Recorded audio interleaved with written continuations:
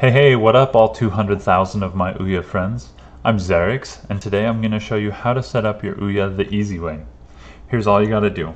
Go to ouya.world, scroll down and click on the tutorials category, and click on how to set up an Ouya the easy way. Then just follow the guide. I have a couple Ouyas sent in from my friend Elemental Draco 218 he said that he's been having some issues with these units, getting them set up for the community server, and asked if I'd be willing to get them set up and rooted for him. One of these Ouyas is the limited edition bronze, which is very fun. I've never seen it before in real life, and it's a lot of fun to get to see it here. It's very pretty. I'm going to demo this guide using one of these units. Rather than do the work myself, I opted to finish writing a PowerShell script to do most of the work for anyone who wants to set up an Ouya. Let's dive in. Because I've never turned on this Ouya, I don't know what state it's in.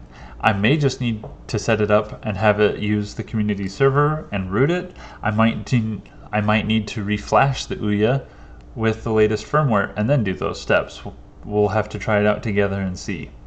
Following this guide, I've completed step one, which is hook up your Ouya to everything.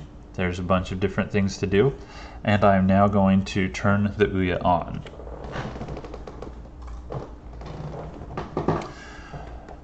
Next, I am going to open up PowerShell on my computer. And I'm also going to copy this command.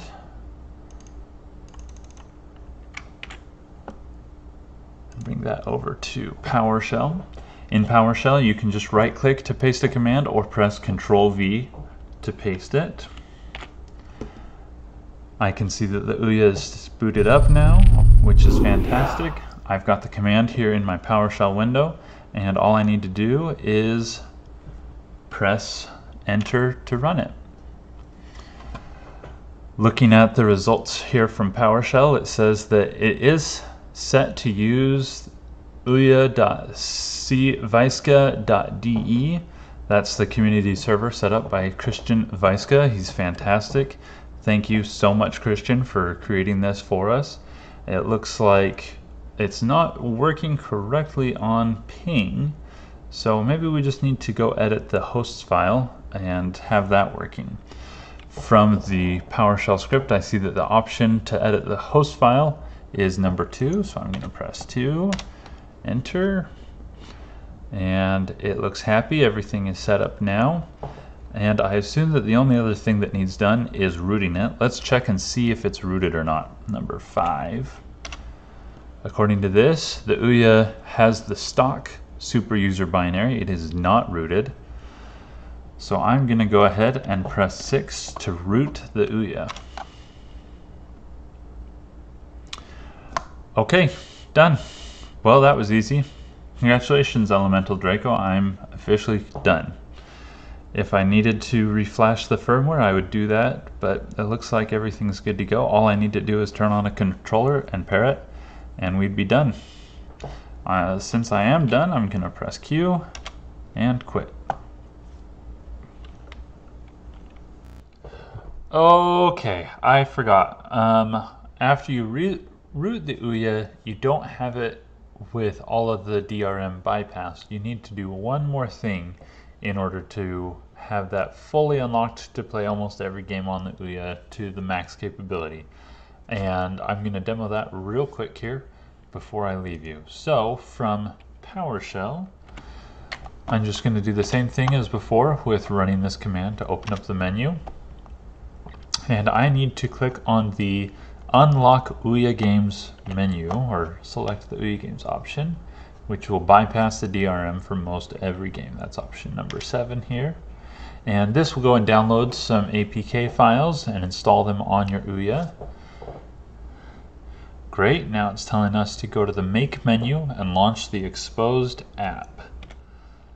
From Make, come here, and I now see that there are some games installed, so we'll go into the Xposed installer and launch.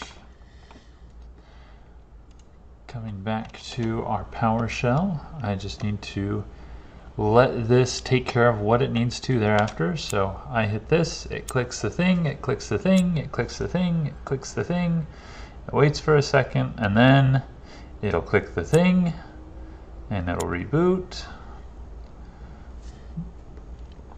If you're using a non-standard resolution, a, such as 720p instead of 1080, you might have to do these steps yourself and you can see them listed here. And all it had you do was go to the framework menu, click on the OK to the prompt, click uh, install update, click allow on the super user access, click OK for reboot, and pretty easy to do, just something you don't have to deal with if you're using a normal screen.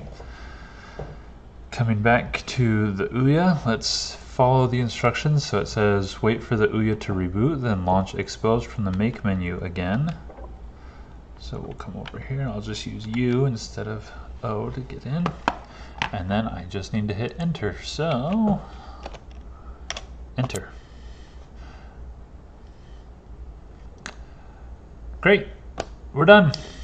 That was pretty easy just forgot to do that previously